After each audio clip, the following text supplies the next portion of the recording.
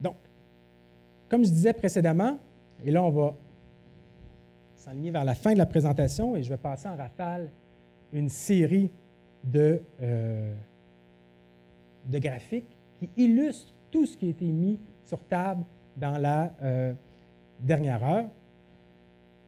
Première chose, premier élément, montrer la valeur, le, euh, pardon, excusez, quand Piketty parle en termes de retour des sociétés patrimoniales, ce qu'il veut nous dire finalement, c'est qu'il y a une tendance à la hausse dans la concentration euh, de, la, euh, de la richesse, mais qu'il ne faut pas sous-estimer la fiscalité.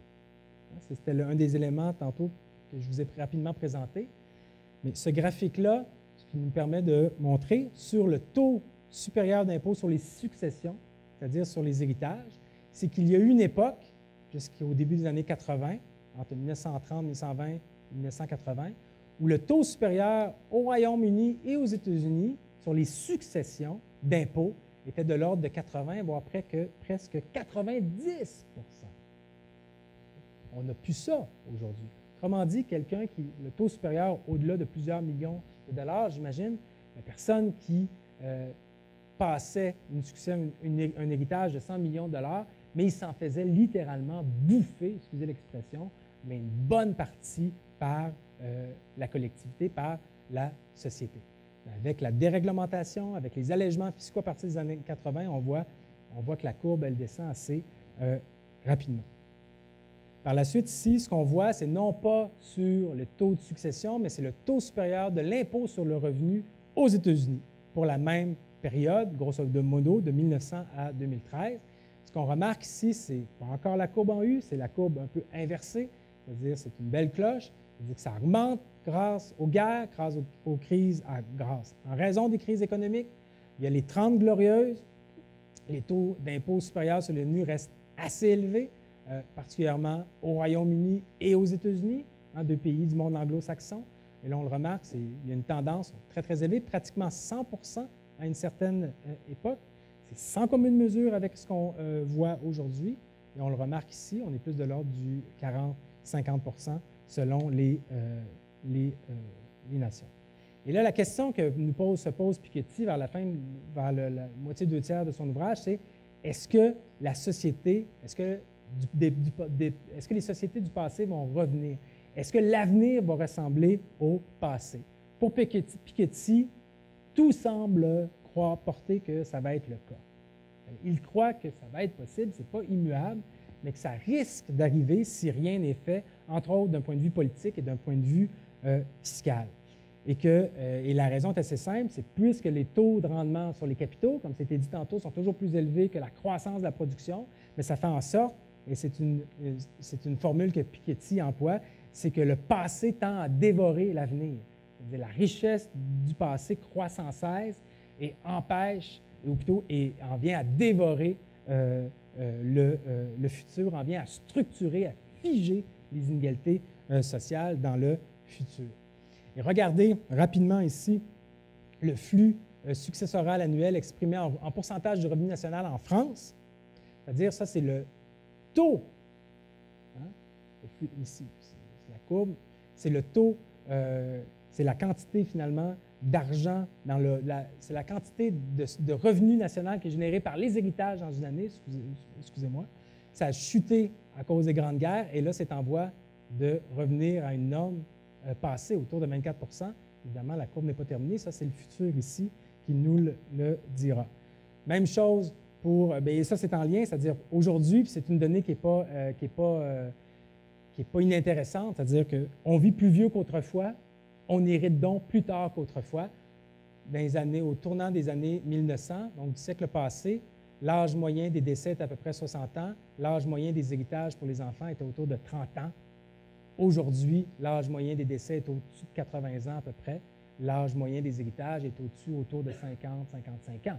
De sorte que ce qui fait dire à Piketty, c'est qu'aujourd'hui, c'est rare de naître ou de sortir des écoles ou des grandes écoles puis de devenir rentier, ce qu'on voyait davantage euh, dans le passé, euh, ce qui peut être illustré, ce qu'on voit dans bon nombre de films à caractère historique. Mais aujourd'hui, même les gens qui deviennent rentiers doivent au départ travailler dans euh, leur vie. Quel drame, va nous dire Piketty. Évidemment, c'est du sarcasme. Pour terminer, il y a deux types d'inégalités.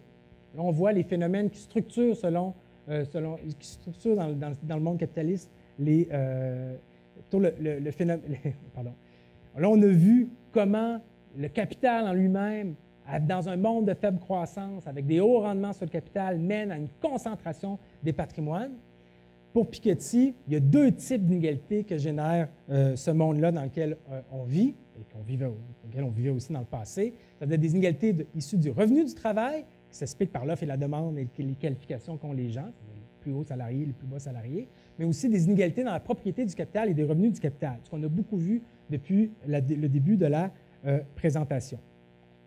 Je vais sauter certains tableaux qui vous seront envoyés par courriel mais rapidement pour vous montrer ici, avant de conclure, qu'on voit l'inégalité des revenus, premier type d'inégalité hein, qui a été présenté par Piketty dans la diapositive précédente. L'inégalité des revenus aux États-Unis, c'est une des premières diapositives que je vous ai présentées au début, euh, de la rencontre. Mais on, voit que la part du décile supérieur dans le revenu est assez stable au début du siècle passé. Choc politique, 30, glorieuse, on a expliqué ce qui s'est passé. Et là, un redécollage vers, euh, vers les cieux, d'une certaine manière, une augmentation assez marquée de la part du 10 le plus riche dans les revenus nationaux aux États-Unis. Autrement dit, actuellement, grosso modo, en 2008, avant la crise financière, et là, on aurait atteint à peu près ce 50 %-là. Donc, grosso modo, aujourd'hui, 10% le plus riche aujourd'hui aux États-Unis accapare 50% de l'ensemble des revenus générés par l'emploi aux États-Unis, ce qui n'est euh, pas rien. Et la décomposition du décile supérieur, c'est le même graphique que je vous ai présenté au début de la rencontre. On voit encore que le 1% lui, accapare pratiquement la moitié de ce 50 %-là, soit près de 25% ce qui n'est pas rien. C'est des hauts taux euh, d'inégalité des revenus, et non pas juste de la richesse. Et là, on regarde l'effet du capital sur la richesse, sur les gens qui sont les plus riches, ceux qui détiennent les plus grands patrimoines. Ici, c'est la composition des hauts revenus aux États-Unis en 1929. J'apporte votre attention sur la date. C'est 1929, à la veille du crash boursier 1929, de la crise économique des années 30 aux États-Unis en Occident. Regardez ici, ça, c'est le 0,01 Ces revenus sont constitués à peu près de 90% de revenus de capitaux. Sont de capital et non pas de revenus du travail. évidemment, en proportion inverse, c'est moins de 10% à peu près 10% revenus du travail plus on approche du début du décile supérieur, plus l'écart est mince. regardez le graphique suivant, c'est les mêmes données statistiques, mais pour aujourd'hui, pour 2007, c'est grosso modo, l'axe est un peu déplacé, mais on est en voie de rattraper la concentration, ou pas la concentration, mais la, très haute part des revenus issus pardon, des capitaux, sont de l'ordre de 90% en si je recule une diapositive, en 1929. De sorte qu'il y a cette constante-là, et ça c'est encore pour illustrer une thèse qui est au cœur de l'ouvrage de Piketty, c'est que plus on est riche, d'une certaine manière, évidemment, plus on a de l'argent, ça va de soi, c'est un truisme, mais plus cet argent-là, on peut aisément le faire fructifier. Et l'essentiel de nos revenus, quand on a des grandes fortunes, ce n'est pas le revenu du travail, c'est nos rentes, c'est l'argent qui travaille euh, lui-même d'une certaine euh, manière. Et dans les, pays anglo-saxons, l'inégalité des revenus, on voit encore la même fameuse courbe en U.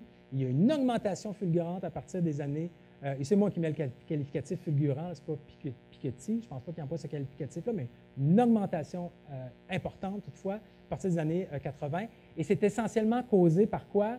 Par la, oui, la déréglementation des marchés financiers, mais aussi par les baisses d'impôts les, baisses d'impôts sur les revenus supérieurs, les baisses d'impôts sur les grandes entreprises, sur les, entreprises, les baisses d'impôts sur les gains en capitaux, c'est-à-dire sur l'argent qui est généré euh, sur les marchés boursiers. ces éléments-là, combinés ensemble, font en sorte qu'il y a de plus en plus de gens qui ont déjà beaucoup d'argent qui s'enrichissent encore plus littéralement. Et pour terminer, avant de prendre cinq minutes pour conclure, Regardez, ici, c'est les séries statistiques qui ont été étudiées par Piketty et son équipe. Je vous ai présenté à travers maintes, graphiques. Et ça, c'est un scénario, ce sont des prévisions finalement. Et c'est le rapport capital-revenu dans le monde de 1870 à 2100. Évidemment, tout ça ici, ce n'est qu'une hypothèse. Ça pourrait ne pas arriver pour différentes raisons. Mais que si la tendance se poursuit telle qu'elle est, bien, c'est le jeu des probabilités ici, nous dit Piketty, il y a beaucoup d'incertitudes. Il reste qu'on est en voie de retrouver la concentration euh, du capital dans nos sociétés qu'on a connue euh, à la belle époque ou dans les sociétés patrimoniales du passé, ce qui est quand même inquiétant à ses yeux. Conclusion, pour Piketty, l'économie, hein, je l'ai amplement répété, c'est une chose de les retenir, c'est ça, c'est que l'économie, ce n'est pas juste abstrait, ce n'est pas dénué, c'est pas détaché de la réalité politique, loin de là. L'économie, c'est aussi beaucoup politique, littéralement. Et que l'essai lui-même, le capital, ne va pas s'auto-réguler, le système capitaliste ne va pas ultimement s'auto-réguler malgré tous les avantages de l'économie euh, de marché, pourrait-il euh, nous dire, mais que le capital en lui-même a en lui une puissante force, hein, force de divergence, qui a été euh, présentée, expliquée, qui a le potentiel de générer de très grandes, mais de très grandes inégalités économiques. Parce que les patrimoines ont tendance, R plus grand que G, les patrimoines ont constamment tendance à se, fructifier ou à croître beaucoup plus rapidement que l'économie euh, en elle-même, que la croissance des revenus en eux-mêmes. L'entrepreneur, c'est une image qu'il utilise, nous dira Piketty, tend à devenir un rentier qui éventuellement dominera littéralement ceux qui n'ont que leur force de travail à offrir, c'est-à-dire les travailleurs et les travailleuses qui n'ont pas de, patrimoine, qui n'ont pas de capitaux euh, euh, de côté. Et la solution la plus rationnelle, il le présente comme ça dans son dernier chapitre pour Piketty, pour pallier à ça, c'est littéralement de créer un impôt progressif sur le capital, ou si préférez, un impôt progressif sur les patrimoines. Piketty n'est pas en désaccord avec la baisse d'impôts sur les revenus du salaire, essentiellement pour la classe moyenne et pour les plus pauvres, voire pas d'impôt du tout pour les gens qui sont très pauvres. C'est déjà beaucoup le, cas, entre autres, c'est le cas au Québec. Mais des baisses d'impôts pour la classe moyenne, oui, est pour. Des hausses d'impôts assez marquées pour les gens qui ont des grands revenus.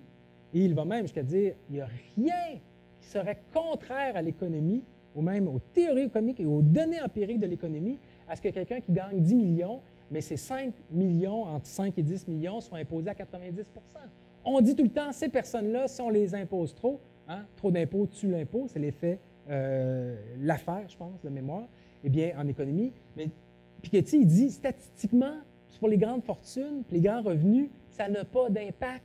C'est faux. Les gens vont quand même continuer à euh, vouloir s'enrichir et à travailler au-delà d'un certain euh, nombre de millions, 2 millions de dollars entre autres, les données statistiques qu'il a étudiées, c'est critiquable, c'est discutable, n'ont pas montré d'impact sur les données statistiques aux États-Unis entre la productivité des gens quand ils ont un revenu de plus de 2 millions de dollars et euh, productivité des gens et leurs euh, revenus. Alors tout ça, finalement, ils nous présentent ça comme des mythes, mais c'est des mythes, nous dirait Piketty, qui sont très forts puisqu'ils sont répétés constamment dans nos euh, sociétés. Donc, créer un impôt progressif sur la capitale pour deux raisons. Pour une logique contributive, ben, pour que les gens, finalement, qui aient beaucoup d'argent, puissent donner un retour à la collectivité hein, avec cette somme-là, avec cette imposition-là, littéralement. C'est une contribution euh, sociale. Ça compléterait l'impôt sur le revenu, parce qu'on l'a vu avec le 0,01% les gens qui ont, énormément de revenus, qui ont énormément de capitaux, bien l'essentiel de leurs revenus ne proviennent pas du travail, de leur salaire, comme vous et moi. Ils proviennent de quoi? De leur euh, rente.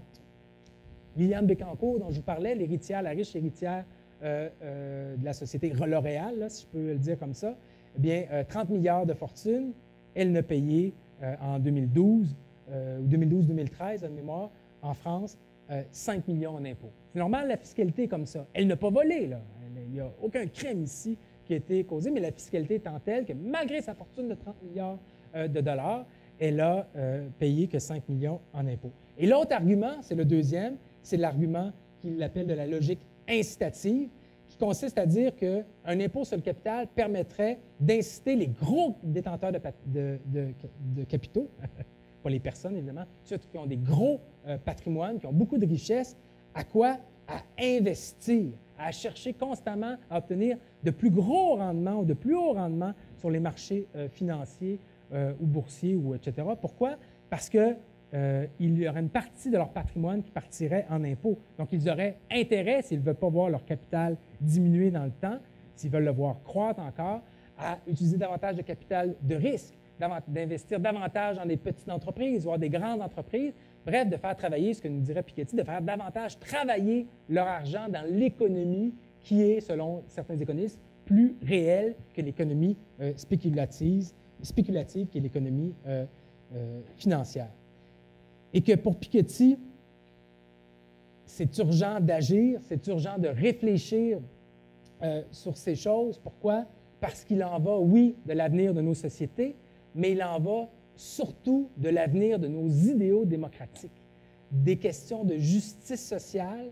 Il en va de la question à savoir si on veut vivre dans une société où la justice sociale est plus que des beaux mots en l'air, mais que s'ancre littéralement dans des politiques publiques et des politiques fiscales qui ont des effets pour la masse des travailleurs et pour éviter que tranquillement, si ce n'est pas déjà fait, il y a des gens, qui, certains philosophes certains économistes, certains penseurs ou intellectuels qui le disent déjà, mais ce n'est pas déjà fait, mais que nos démocraties ne se transforment pas en plutocratie, c'est-à-dire dans une société ou en des sociétés où c'est le pouvoir de l'argent et non pas le peuple fondamentalement qui dirige, mais où c'est le pouvoir de l'argent qui prend euh, toute euh, la place. Il n'y a rien d'illégitime dans le fait d'être riche.